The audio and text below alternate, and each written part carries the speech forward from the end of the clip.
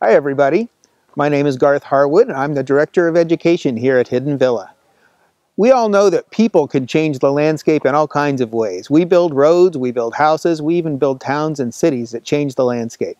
But other animals do it too, both large and small animals. Today we're going to look at an example of how a deer can change a tree and even the whole forest.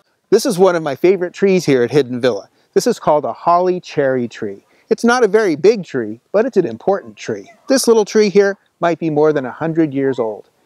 It produces so many seeds that if every seed sprouted, we could have a thousand more wild cherry trees, these holly cherry trees, every year. But that never happens.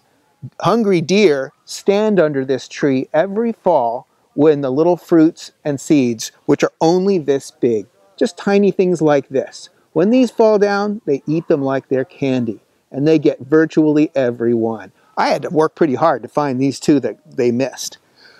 So, as you can see, there are not sprouts. There are not young trees just the same as the parent tree growing under this tree. In fact, the deer eat so many of the holly cherries that there are very few holly cherry trees here at Hidden Villa, and it's all because of the hungry deer. But a few do survive. A few get away, and survive to sprout, and so we always have some. This tree itself has been shaped by the deer. If you look at this tree, you can see lots of green leaves up high. You can see the green leaves through the middle. You can see the green leaves down at the bottom of the branches. But between those last branches and the ground, there's not a single green leaf. That's because the deer think they are delicious too. How tall is a deer? Just about as tall as the space between the ground and the first leaves it can't reach.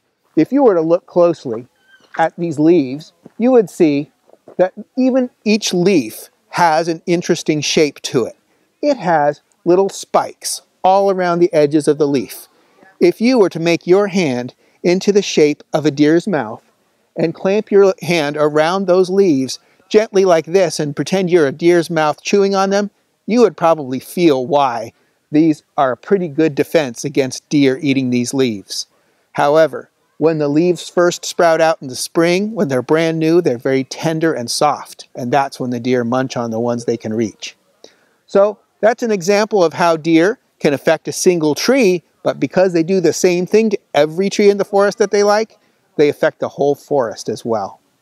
Thanks for listening, folks.